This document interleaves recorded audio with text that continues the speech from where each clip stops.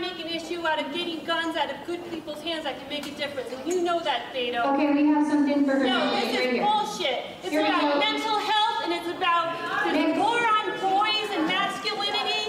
You're bullshit by being here. Shame on you, Beto. you Why don't you debate me? Why don't you debate me? Go ahead. Answer my question. Answer my question, are in Beto. those communities. Come on. you're Come not on, the bring it only on, voice Beto. Let me here. hear. What do you have to say about mental health? What do you have to say about urban violence? You don't care. The Democrats have been in charge of urban Ma'am. communities and cities for decades.